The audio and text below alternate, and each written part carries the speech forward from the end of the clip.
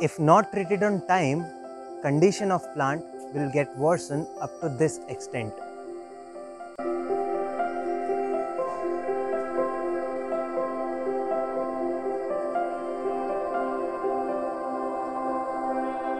If you are also facing this problem with your plants, then I am having an effective solution.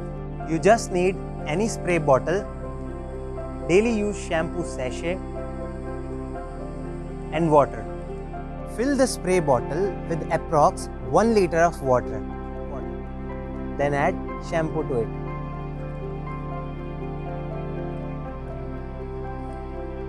Mix it well and spray this solution onto the effective area of plant.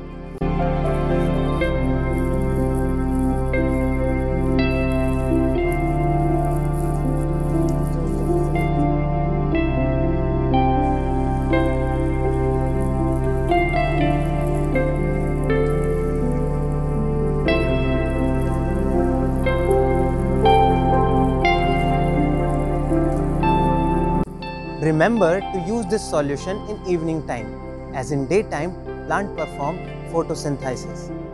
After using this solution in evening, next morning wash your plant with normal water.